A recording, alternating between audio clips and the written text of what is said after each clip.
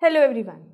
In the preceding chapters of biology, we have learned about the different processes which goes inside the body of the living organism. We have seen the different life processes, different techniques of control and coordination, and also about the different methods used by the living organisms to reproduce. We understood how the body of the living organisms works from inside, but we never talked about how these organisms behave in the outside world. So let's move a step further and see how these organisms behave, what is their role, and what is their place in the world. Since the beginning of life, various living organisms interact among themselves as well as with the surrounding environment like soil, air, and water. For example, plant interacts with soil to get various nutrients. They also use water, sunlight, and carbon dioxide from the air to produce food. Different animals interact with air to get oxygen. They obtain their food either from the plants or they consume other animals. All these interacting organisms in an area together with the non-living constituents form an ecosystem. All the organisms in an ecosystem are dependent on each other and on the non-living components of the ecosystem. So we can say that an ecosystem is self-sustaining which means it does not require any external help for its sustenance except sunlight. Let us try to understand this with the example. You must have seen ponds at some point of time, so we are taking the example of pond. If we talk about the physical environment, it includes air, water in the pond and soil and rocks surrounding the pond and beneath the pond. We know that in the vicinity of a pond, a variety of organisms can be found. There are ones which we can see like different fishes which live inside the water or different birds which can be seen standing on the shoreline or flying above the pond. Phytoplanktons, which is the green substance that we often see floating on the surface of water, it is a type of aquatic plant. There are also organisms which cannot be seen directly with the eyes. They include the tiny aquatic animals called zooplanktons, different bacteria and fungi. All these living organisms are interdependent on each other. For example, zooplanktons eat phytoplanktons, fishes eat zooplanktons and the birds eat fishes. Bacteria and fungi decomposes the dead animals and plants.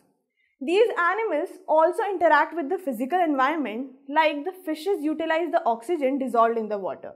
Since all these organisms are interacting among themselves and with the surrounding environment, we can say that the pond and its surrounding environment form an ecosystem.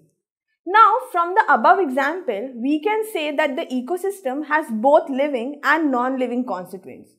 From this, we can conclude that ecosystem has mainly two components. All the non-living things like air, water and soil along with the chemicals like nitrogen, phosphorus, oxygen and carbon dioxide forms the abiotic component of the ecosystem. All the living things as in the case of ponds, were phytoplanktons, zooplanktons, fishes and birds form the biotic components of the ecosystem.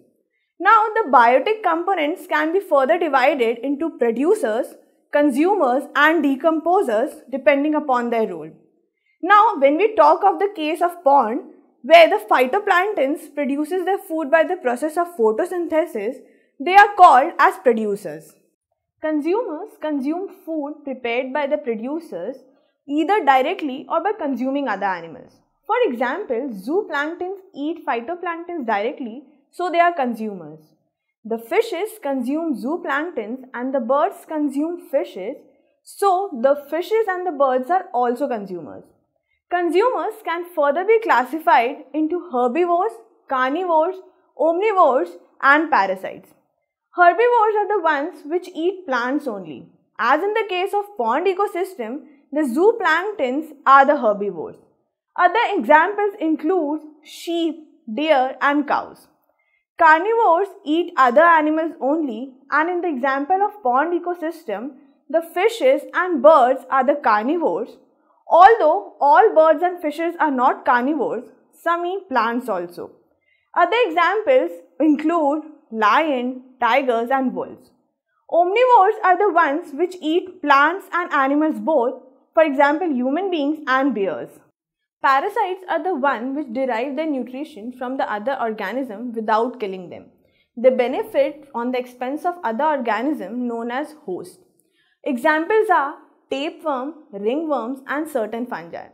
The role of decomposers is to decompose the dead animals and plants. They break down the complex organic substance into simpler inorganic substance which goes into the soil and are once again used by the plants. They play a very important role in the ecosystem as if they were not present then there would be no one to clean the dead matter and it will pile up. In the pond ecosystem, the bacteria and fungi are the decomposers. So we saw how the ecosystem works and what are its components. Ecosystem can be natural or artificial depending on whether it is man-made or not. They can also be categorized as aquatic and terrestrial depending on the environment in which they exist. The examples of natural aquatic ecosystem includes ponds, rivers and lakes. The example of artificial aquatic ecosystem is aquarium. The natural terrestrial ecosystem includes forest and mountains. The gardens and the crop fields are the example of artificial terrestrial ecosystem.